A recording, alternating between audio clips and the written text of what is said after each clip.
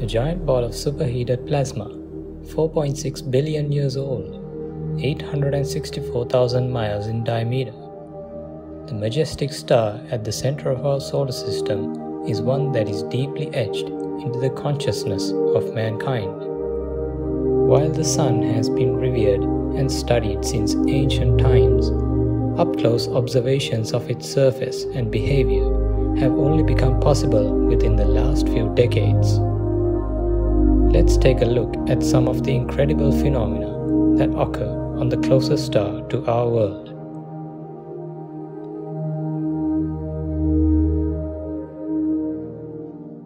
The giant nuclear reactor that is the Sun is quite literally bursting with energy. Sometimes this can manifest as an eruption of solar material tens of thousands of miles into the atmosphere of the Sun, known as the corona. After being launched into space, the ejected plasma cools and falls back down. Due to the electric charge of the material, it moves through a path of invisible magnetic field lines on the surface of the Sun. The result is a truly stunning display on our parent star that resembles rainfall on planet Earth.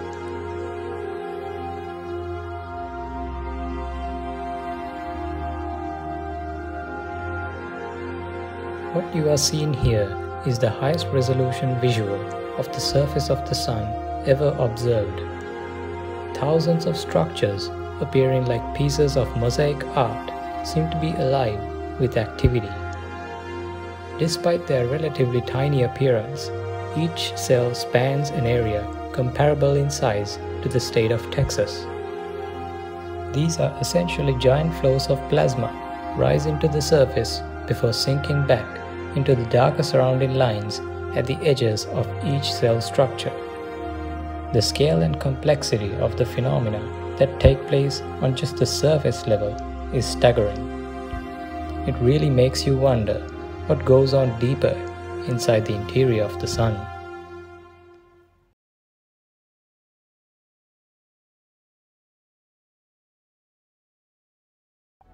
A black dot seems to inch its way across the gargantuan face of the Sun. This is real footage of the transit of Venus across the Sun, taken by NASA's Solar Dynamics Observatory in 2012.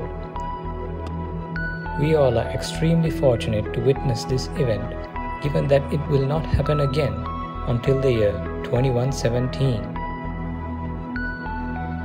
Our Sun is only one of hundreds of billions in a single galaxy alone. They come in a myriad of different sizes, temperatures, and behaviors.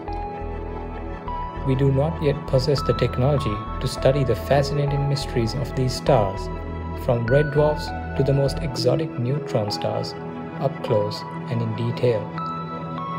But someday, maybe we will.